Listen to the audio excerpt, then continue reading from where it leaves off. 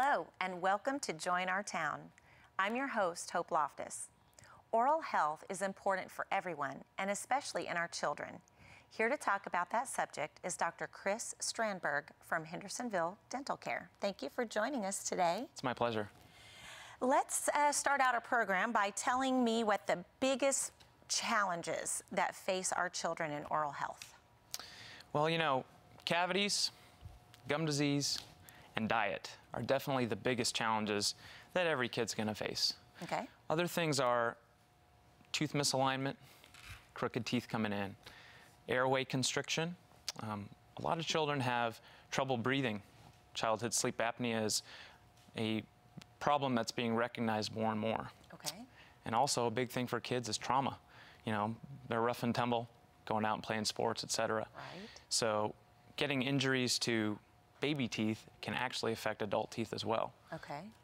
What are some of the most common issues that you see children face with um, oral health care?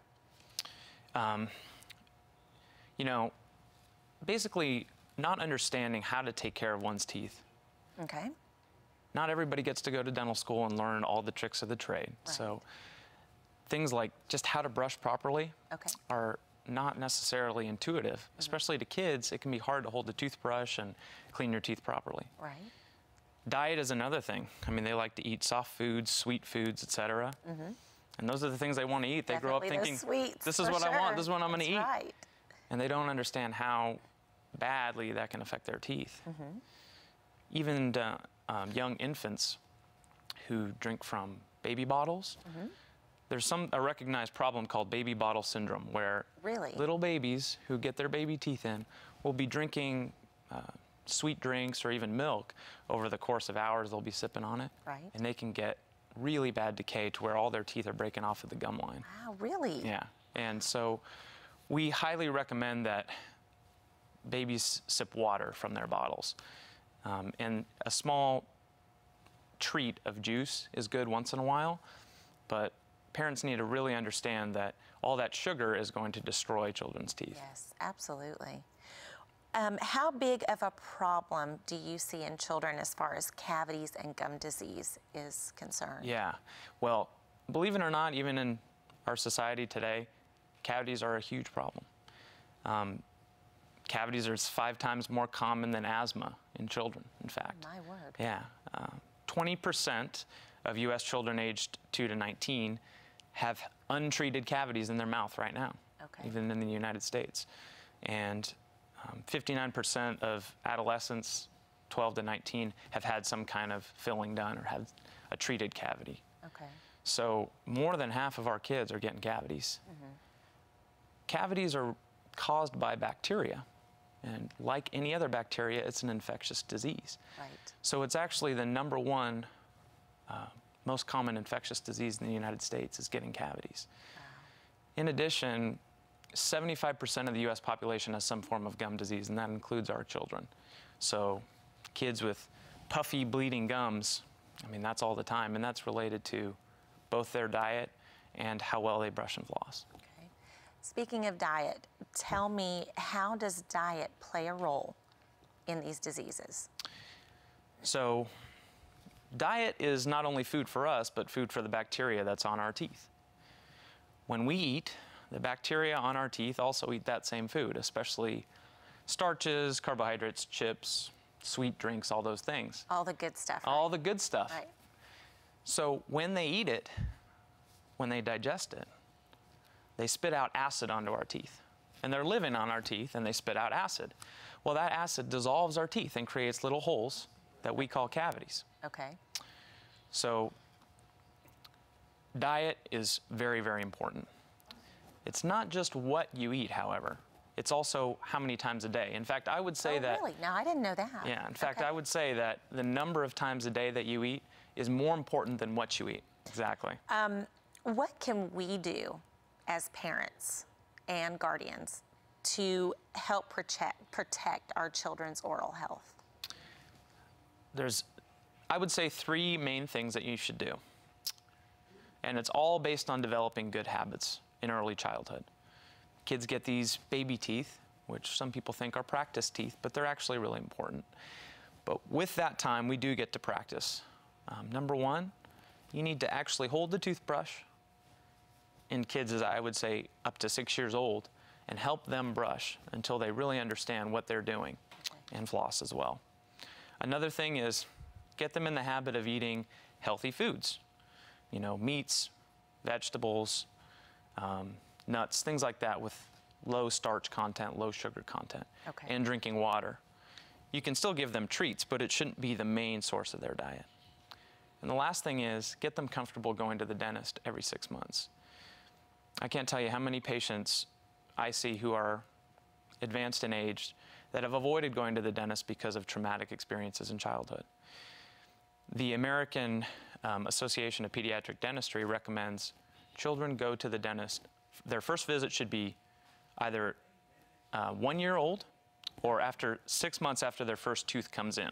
So probably much younger than a lot of our viewing audience Definitely. might think. So a year old. I believe the average age is about two and a half. Okay. All right. But by the age of two and a half, kids are already able to be kind of scared and nervous about what's going on, and by then they might already have cavities. So their first visit, it's not going to be a happy visit. We want their first visit to be as happy as possible. So seeing the dentist as a friendly experience Right. can get them used to going there and help develop good habits that will avoid them having unhappy visits in the future. Okay. Now, I- I know you mentioned like snacks and things like that and Yeah. making sure that you kind of limit that. What about different sodas? Or where I would normally call it pop, but Yeah. I, I, I get made fun of a little bit for that.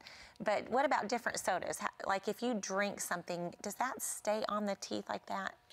that sugar, it actually does stick to the teeth. Even though you swallow most of it, the bacteria are going to be hanging on to it, especially in between the teeth. Mm-hmm. There's a lot of cavities that you get in between your teeth by drinking those sweet drinks because it kind of bathes every surface of the tooth. Okay. So avoiding sodas with sugar in them is very important. Okay. Now, one thing you also have to remember is even diet soda, you know, they're flavored with phosphoric acid, and that acid also dissolves your teeth. So it softens your enamel, it softens your teeth. And teeth don't really heal, so that damage is cumulative throughout your lifetime. Okay. Doesn't just go away. And sweet tea is um, also a big problem here, so unsweet tea is preferred. We like the sweet tea in the South. Yeah. What should a parent use to clean a baby's teeth, starting them out, starting them out young? um, soft bristle, very small toothbrush with a tiny pea-sized amount of fluoride toothpaste. And just kind of scrubbing their teeth, that's not going to be too difficult. A lot of times, as children, as babies get older, between three to five, their teeth will start expanding, and floss is not as important at that time. So um, you can show your kids how to floss and show them how to brush. And by the time their big teeth start coming in and those spaces start closing again, they'll know what they're supposed to be doing. A moment ago, you mentioned how that our baby teeth are important. Kind of tell me why those baby teeth are important for us to take care of. Because I know you mentioned some people think it's just that, well, they're you know going to lose them later. Uh, Yeah. but what's the importance of that? The importance of it is several fold. Number one, they actually help with jaw growth. They support the space required for the big teeth to come in. Okay. So if those baby teeth fall out, the teeth will shift and the jaw won't grow as much. And that means crowding with adult teeth. That means crowded teeth with adult teeth. So holding space is a very important aspect of baby teeth. Okay. The second thing is speech development. Our T's and V's and F sounds and S sounds are all used, we use our teeth to make all those sounds. And children who are missing teeth, especially for long periods of time, if they're broken down, they've gotten cavities and had to come out, they won't know how to develop those sounds because they're missing those teeth and they'll have lisps. Okay. All right. Another thing is just self confidence and being able to smile. Um, a lot of times, kids will get black things on their teeth or what we call stainless steel crowns, basically like a silver tooth in a kid. And kids are mean, you know, they'll probably get made fun of. So that's definitely important as well. Um, I would say those are some of the main things. Okay. What about uh, thumb sucking for children. Is that um, is that harmful for children's oral health? Yeah, it is. The way that the baby teeth are going to be moved by that habit also creates the jaw, to, it, it makes the jaw move in that sort of way. So what you'll find is kids who have been sucking their thumb, mm-hmm.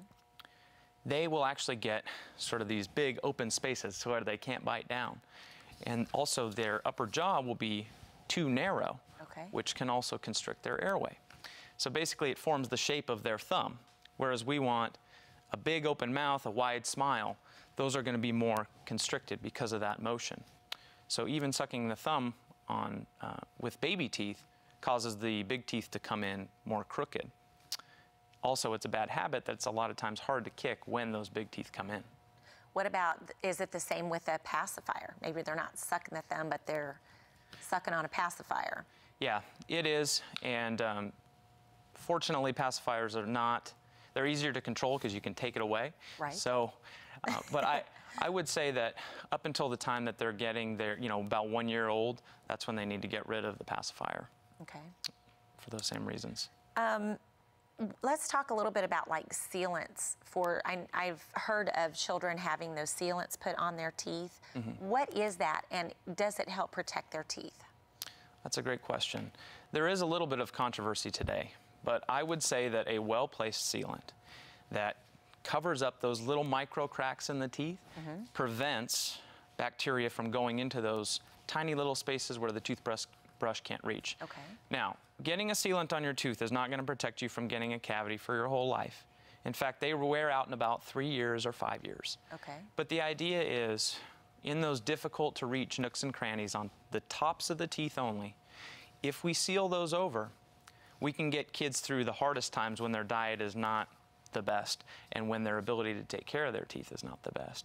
So it's kind of a way to protect their teeth uh, for a short time. And some folks, even adults, will have sealants that last. And shoot, they don't have cavities in their teeth. So It helps that. Yeah, it it- helps it in that does. area, huh? Um, how do I know if my child is getting enough fluoride? Well, the community of Hendersonville has the recommended amount by the ADA of one part per million. Basically, it's a very, very low concentration of fluoride in tap water. So if your kids are drinking a good amount of tap water, um, you know, 32 fluid ounces to 80 fluid ounces a day, they are probably going to be getting the right amount of fluoride. The um, Dental Association recommends that if you're getting well water or non fluoridated community water, then you need to get a fluoride supplement. But you don't want to have too much and you don't want to have too little. Fluoride makes teeth really strong. It makes enamel protected against that acid that I was talking about. Okay. So your kids are getting enough fluoride if they're not drinking soda, they're not drinking bottled water, but instead they're drinking tap water. Tap water, mm -hmm. not bottled water. Not bottled really? water. Okay. Very Yeah. interesting. So um, the community's fluoride levels are controlled by, you know, the municipal government, and they're not so much in the bottled water. So bottled water is not going to provide the same benefits to teeth that tap water will. Okay. Uh, we're going to take a quick break. Mm-hmm. all right. Uh, stay with us. We have a little bit more to talk about. We'll, we'll be right back after this message. Please stay tuned for more Joy in Our Town. Compulsive eating affects millions of people worldwide. These are just some of the symptoms. If you feel powerless over food and unable to control the way you eat, you're not alone.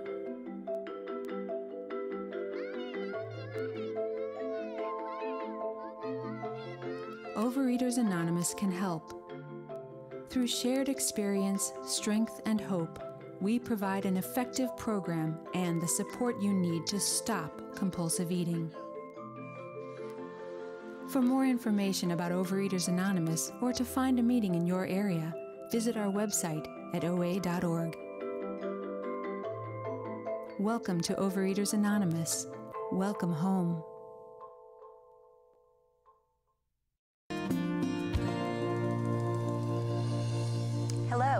Welcome back to Joy in Our Town. Oral health is an issue we have to be conscious of our entire lives.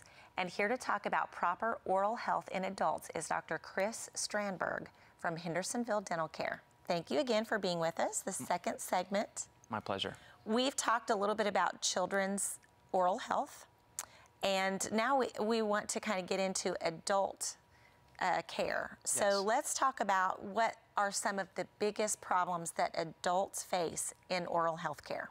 Absolutely. Well, believe it or not, cavities are still a big problem in adults. Uh, also, dry mouth is a big problem in adults, oral cancer, and gum disease is a very, very big problem that we really haven't been able to control. Why, uh, what causes gum disease? Well, bacteria, as I said before, lives on the teeth. It also lives underneath, they also live underneath the gum line, okay? And during a state of health, they don't live too deep underneath the gum, so we can brush them away.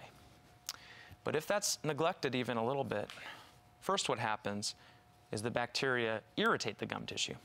And that's when you get bleeding gums. People say, oh, well, when I brush my teeth or when I floss, my gums bleed. Mm-hmm.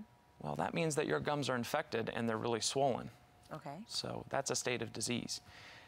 If that happens and doesn't get better, doesn't get treated, after a period of time, the bacteria underneath the gum start destroying the bone. Bone holds teeth into place. But the bacteria that sort of hide and grow underneath the gums actually destroy the bone over time. Unfortunately, that is a painless process that most of the time we don't even know is happening. Sometimes the first symptom that you have when you have this bone loss or this severe gum disease is a loose tooth or a tooth that comes out. Okay. So that is something that needs to be screened by your dental professional and needs to be treated earlier rather than later. Okay.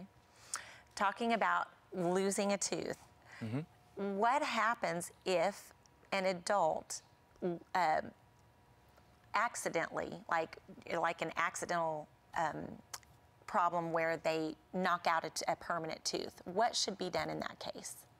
Well, assuming that you can find the tooth, the best thing to do is hold it in your mouth because saliva has antibacterial properties, okay? Okay. And it's going to keep the tooth clean. The next best thing to do if it's someone else's tooth is put it in milk, okay? Really? And it's Okay. critical that you get that tooth put back into place within 30 to 60 minutes of it coming out. Okay. Mhm. And what the dentist will do is put it back into place and secure it to the teeth next door to keep it from moving. Okay. Now, what's going to happen is the inside of that tooth is probably going to need a root canal because the nerve is going to die. But there's still a good chance that the bone and the socket that the tooth came from will reattach. Okay. But the chances of that happening after 60 minutes goes down dramatically. So time is really important. Time is of the essence in that in that situation. So you could eventually need to get a root canal. However, Yes. you've saved But you save the tooth. saved the tooth. Yeah. Okay. And after, if you wait a long period of time, I mean, it's always worth a try, I would say. But uh, what can happen is it just won't reattach. So you might have to look into some other way to replace your tooth at that point. Okay. Tell me, I, I know that um, brushing your teeth is so important Yeah. every day. Yes. What about flossing? Tell me a little bit about that. Is Well- that really important? Well, people say, uh, well, you know, I brush twice a day, but I don't floss. I don't need to floss. But really, the way I look at flossing is it's part of brushing. So if you haven't flossed your teeth, you haven't brushed your teeth. Let me just show you as an example on Yes, here. please do. I have a little model of teeth here. Okay. So when you're brushing your teeth, you want to make sure that you're brushing up along the gum line, mm-hmm. okay, in short strokes like this. Okay. and pulling down, okay. But think about it. What about those spaces in between the teeth? They're not getting brushed. Let me show you what can happen. So we've brushed the outside, the inside, and the tops of the teeth. Mm-hmm. But if we look on the side of the tooth, that's where cavities develop. Wow. Okay.